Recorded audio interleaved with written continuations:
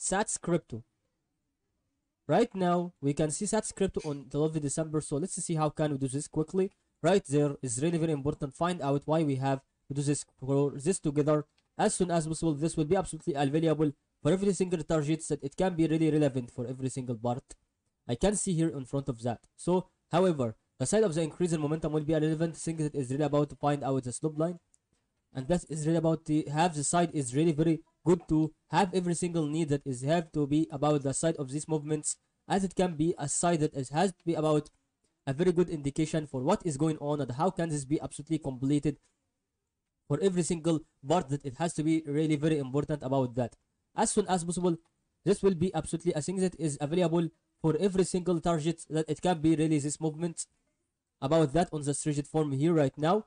About the increase in momentum as you can see that is possible about find out why we have the side of the increase in momentum here.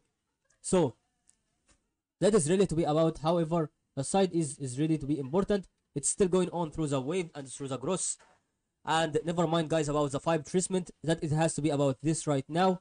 So however we can understand all of these cases without any problem with no doubt about what i can see. It's still has to be a very good progress but it's still not going to be only the bad progress and it still has to be a very continuous thing so that's what i can uh, see if that opinion about what I can say is really to be a relevant thing that it could be having a side a very good indication of what is happening and how can this be going on through the wave.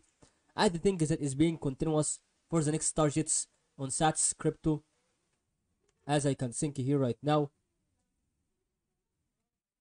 okay and it still has to be only continuous thing that it can be relevant for every single target. That is all to help you today's video